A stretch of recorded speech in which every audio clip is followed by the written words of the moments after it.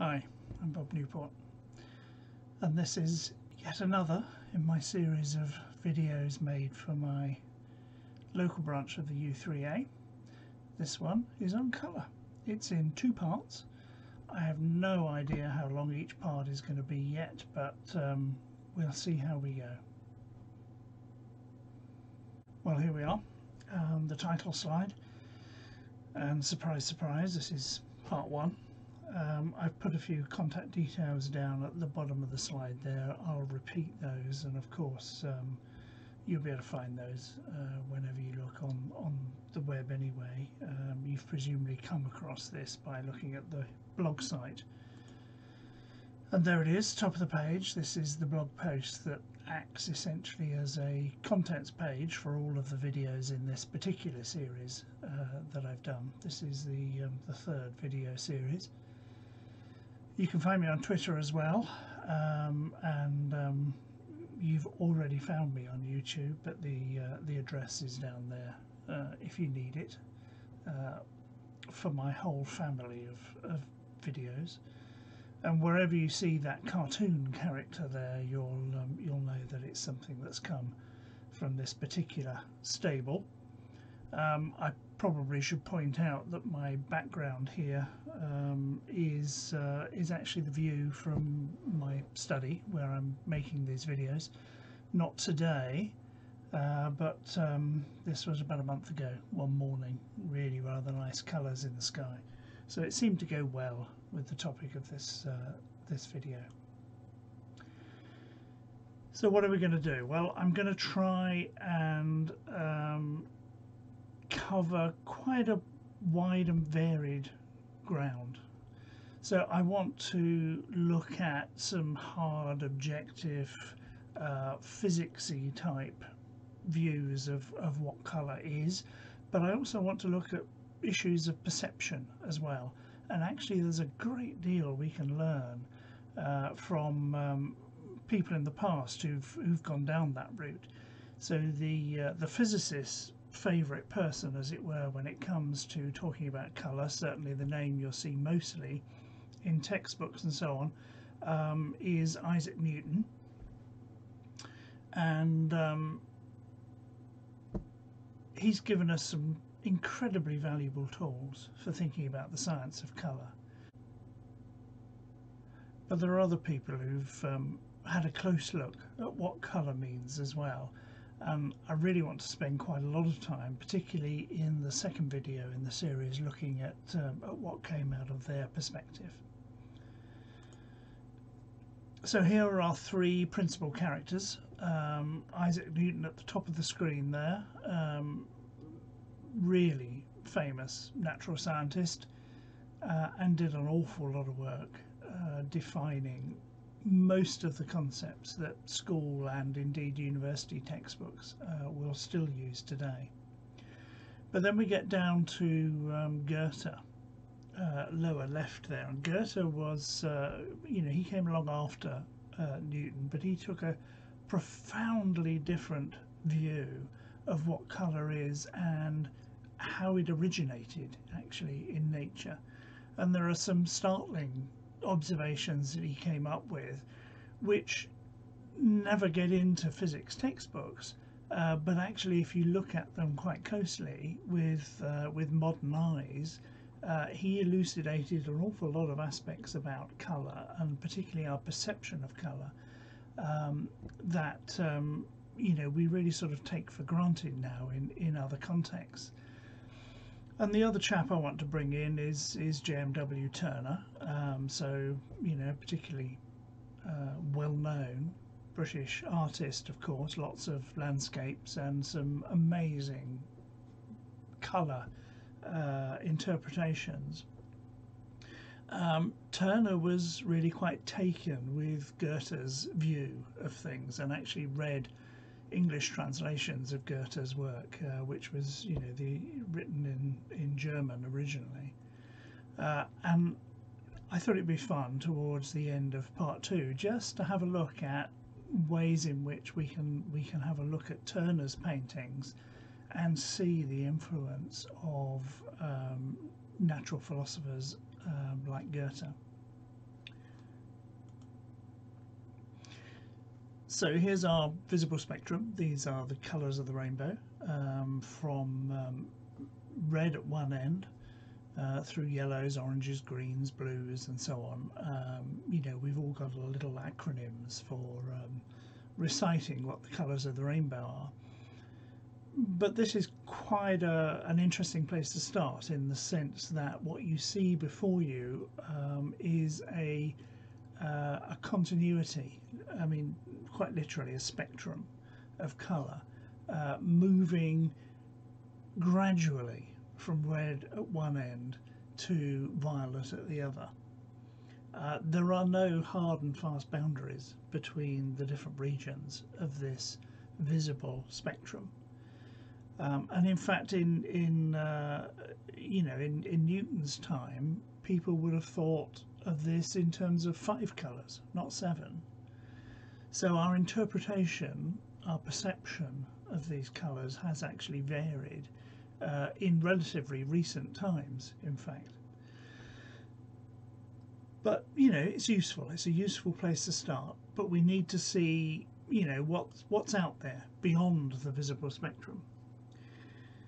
So down at the bottom of the screen here, uh, you can see that I've got the colours that I showed you on the previous slide. So, you know, red through to violet again. These are the colours that we can see with our eyes. So our light detectors are okay at these wavelengths and, and the wavelengths are written down at the bottom. They're written in units of nanometers and a nanometer is a thousand millionth of a meter. So these are quite small values, but um, in the scheme of things, actually not that small, uh, as I'll, I'll show you in a, session, in a second. If we have a look at this visible part of the spectrum, it actually occupies this tiny band in a much broader range of light wavelengths. So you'll all have heard, I think, probably of infrared. So if you hold the back of your hand against a um, uh, towards a heated radiator or a fire or you know anything hot, you'll be able to sense uh, warmth coming from it even before you touch it. Uh, and that of course is because in your skin you have heat sensitive nerve endings and what they're picking up actually is infrared the warmth that we feel from the sun, for instance, is, is very much the infrared radiation coming from it. Uh, and these have longer wavelengths, so you can see down here there's a, a, a few hundred nanometers. So out here, you know, into the infrared we're already at a thousand nanometers, and then we got to get to really long wavelengths. So, you know, we're at a, a tenth of a millimeter out here still in the infrared band and we go further than that and we get into the radio wave area. So you know radar microwaves actually slip in here. The microwaves in our um, kitchens have a wavelength of about three centimeters. So you know that they're, um, they're sitting in here somewhere. Um, on our TV our FM radios will have wavelengths of about a meter. Uh, and the old style um, amplitude modulated radio waves so I'm going back to old style long wave radio sets now the sort of thing that I still am able to pick up on the valve radio that I've got operating in my garage. Uh, we're out at you know 100 meters for instance. Um, the old um, home service from the BBC way back actually had a wavelength of 1500 meters so one and a half kilometers huge wavelengths. But we can go out the other side of our visible spectrum as well. So out the other side, beyond violet, we get to ultraviolet, and now the wavelengths are actually getting shorter. So we're going down now from hundreds of nanometers down to, um, you know, in the region of 10 nanometers, for instance. And again, our bodies can detect ultraviolet, even though our eyes can't. Uh, we don't want to be doing a lot of that because actually this is what causes damage in your skins uh, when you get um, sunburn. So we're detecting ultraviolet through the damage that it's doing in our skin. So as I say, it's not a not a recommended pastime. But there are some uh, creatures in the animal kingdom, so some birds, for instance, uh, and certainly insects that can see ultraviolet light. So, you know, the little bit just beyond violet in the spectrum, they don't see the whole range of it, but they can certainly see this, uh, this region up here. So they get a completely different view of the world uh, to the one that our eyes afford us. If we go out this side beyond ultraviolet, we get into X-rays. Uh, so shorter wavelengths still, and there's a sort of visual representation above just to give you a, a handle on this. And beyond X-rays, we have gamma rays, so the things that can come out of radioactive materials or come into us from, from outer space, for instance. We'll have a lot of gamma rays. Uh, cosmic rays are just a version of gamma rays. So again, really short uh, wavelengths here. So what we see with our eyes is actually a tiny, tiny fraction of the light that's out there. But it's this small fraction that I'm going to focus on uh, in these videos because obviously that's what we understand as human beings uh, to be um, at the back of all the colours that we look at, our entire perception of colour in the world. Now, Newton's um, very much reductionist physical science approach um, was amazing uh, and still is. And as I said earlier on, we've got a lot of incredibly useful stuff that's come out of it. So he conducted some really rather clever experiments, uh, basically around the use of, of prisms um, to split up the uh, the colours of, of you know natural light, light coming from the sun, um, and actually then to recombine those colours and prove that you could add them together to produce uh, white light again. So some really really clever stuff.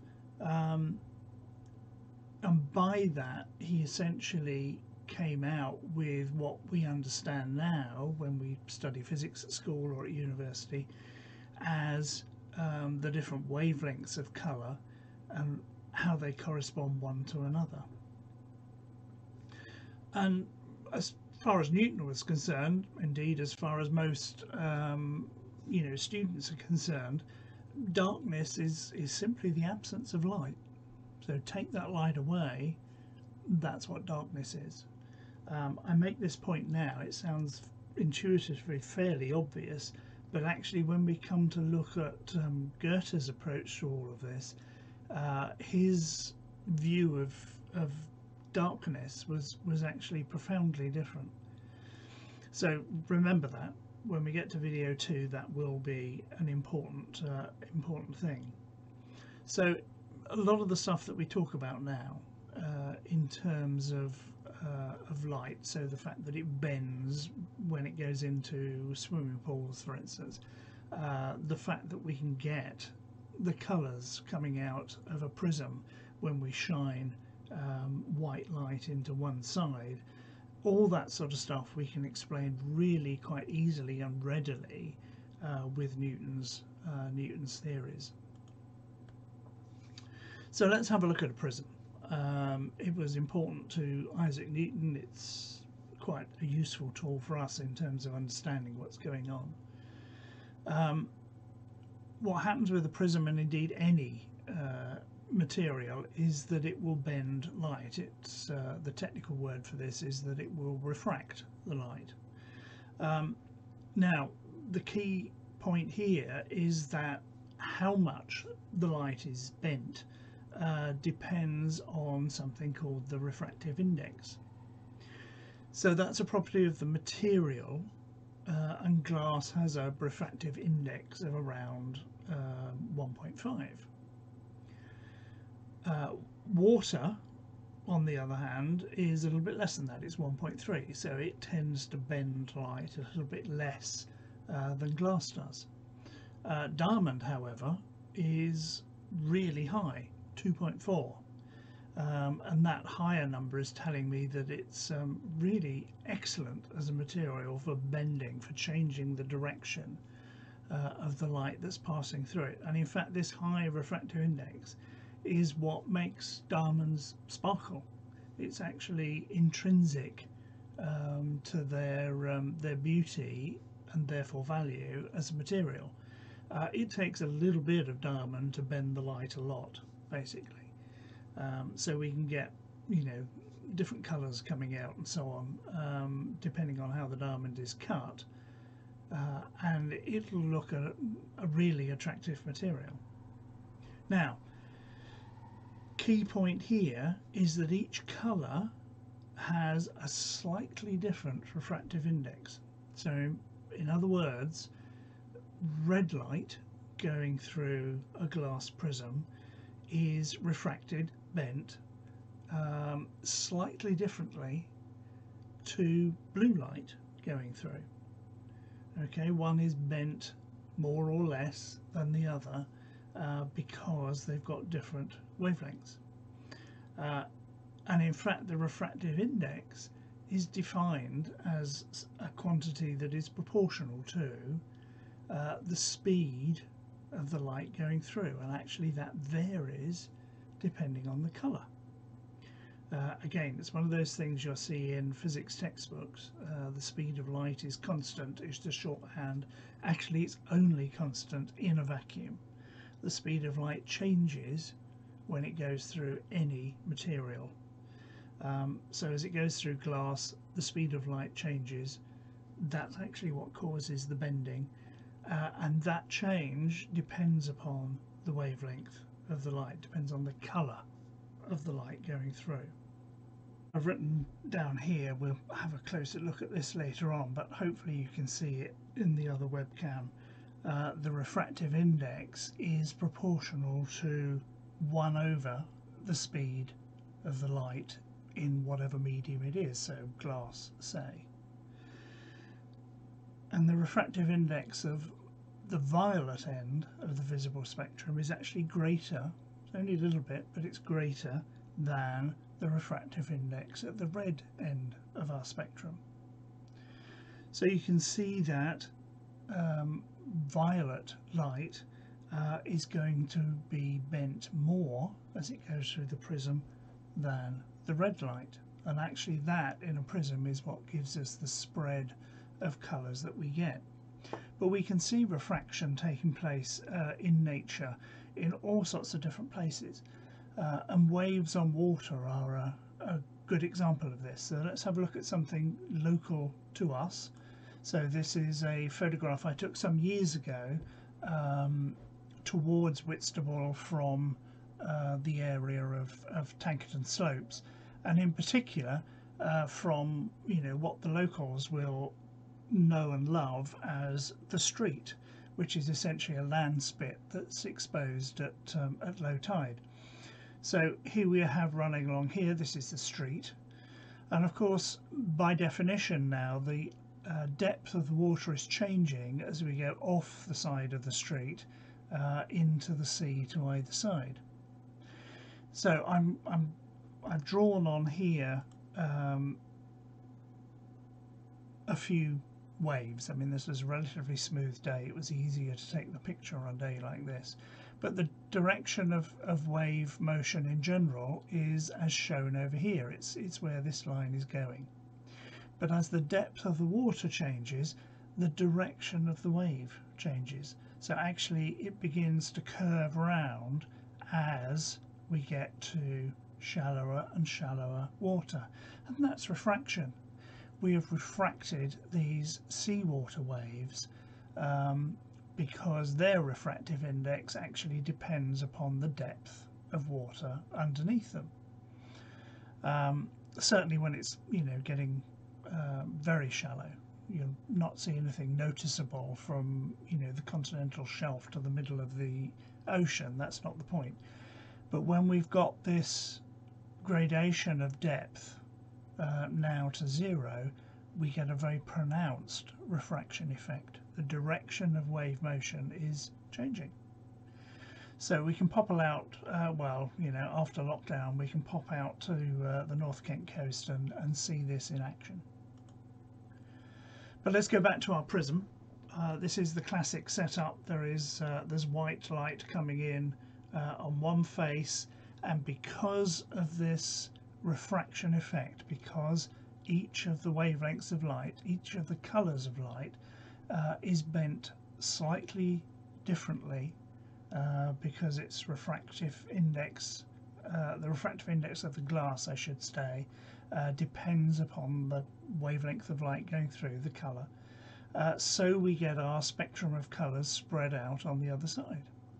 So it's relatively easy to see. Uh, here's the red end of the spectrum bent less than the blue and violet end of the spectrum, uh, exactly as, uh, as we said earlier.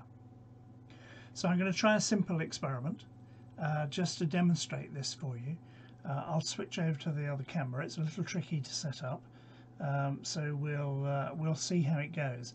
But the essence of this is that I've got a red and a green laser pointer, and I'm going to make sure that they're pointing in the same direction, that they're parallel to one another when we start, simply because I'm going to strap them to a piece of wood. In the photograph here it was a ruler. Uh, in fact, for the demonstration I've got here, it's, uh, it's just a length of, of balsa wood. Uh, the prism is the same, and it's a very cheap one. It's just Perspex, it's not even a glass prism. But hopefully uh, it will demonstrate for you um, what I've just been claiming uh, is the case earlier on. So let's switch over and have a look. Okay, so I'm actually going to try this on the um, desktop because the white paper is a little bit too refractive. It's um, it's going to dazzle us.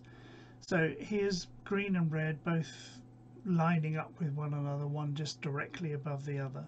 So if I put the prism in the way, um, let's see what we can get okay so you can see now over to the right prism in. Sorry let's get this right. The green has moved further than the red okay? So they're lined up one above the other and then put the prism in. Green has traveled further as it's been refracted through the prism okay? So I hope that demonstrates let me move it down here. So here we are.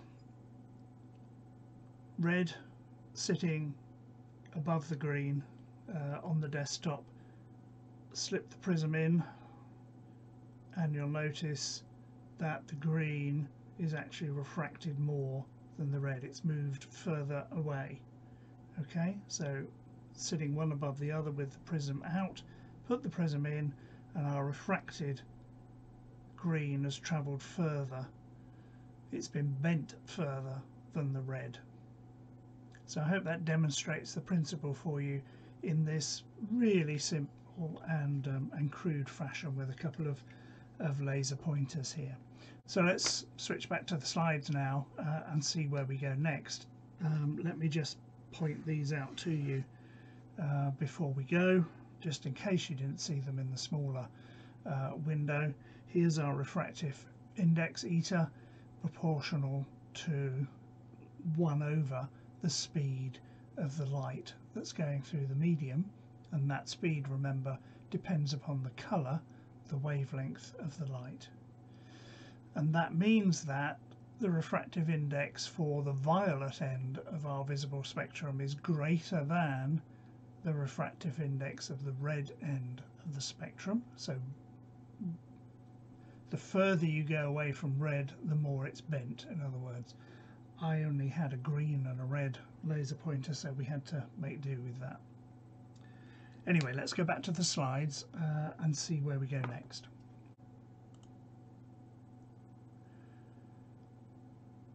So here's a spectrum that I photographed on the um, carpet under my feet in fact. Uh, this is just sunlight falling on the prism as it sat on the uh, on the windowsill. Um, and it shows how we can split sunlight up very conveniently even with a cheap uh, Perspex prism. And you can find this effect in all sorts of places in the house. All we need is something that behaves like a prism. So the edge of a tumbler for instance I spotted this uh, in my kitchen uh, a while back the sun was, um, if you got the angle right, the sun was just hitting the edge uh, of this tumbler and you can see that by holding my phone um, at one angle I'm definitely getting the blue end of the spectrum. I only had to move my phone just a little bit and we end up getting the red end of the spectrum and we could get everything in between. So anything that has um, something that behaves like a prism, so the flat top of the glass on this tumbler will give you precisely the same effect. So you better find this all over your house.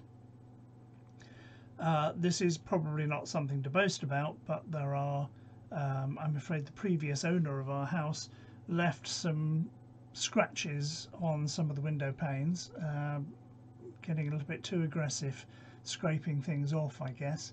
Um, and just the edges of the scratches are enough that they behave like prisms. So we can get uh, these gradations of light, uh, light colour, caused by the sun hitting the scratches on the windows. Really doesn't take much to split the light up in this way.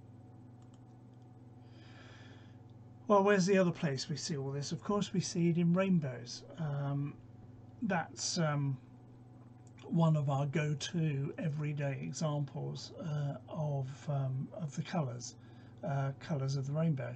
After all, and what's happening here is another example of refraction. So we've got sunlight coming in uh, to the atmosphere.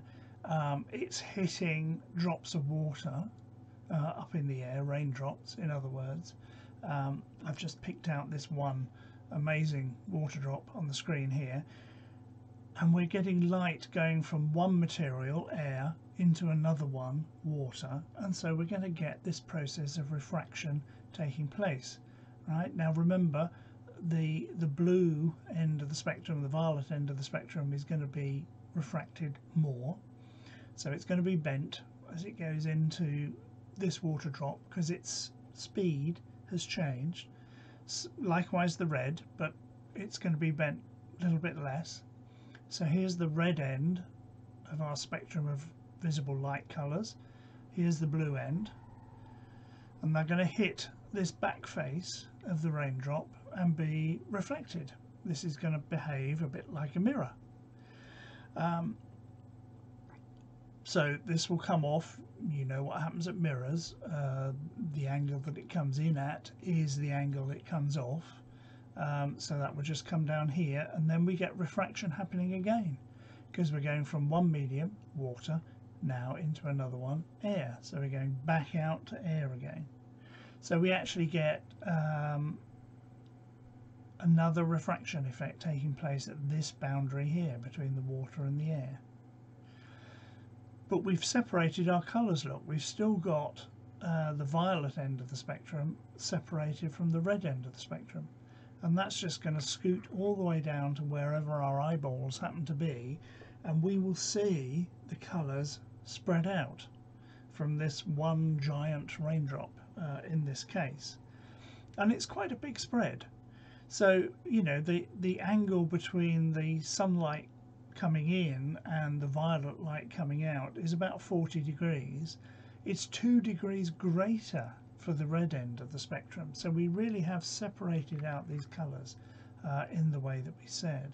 Now, of course, we don't get rainbows um, in everyday life from giant, single giant raindrops in the sky. Uh, we get stuff coming from um, thousands, tens of thousands, millions of raindrops. So we've still got our light coming in, uh, and we've got all the colours, all the wavelengths of visible light being refracted, being bent in each of the raindrops, okay? So now it just depends on where our eye is.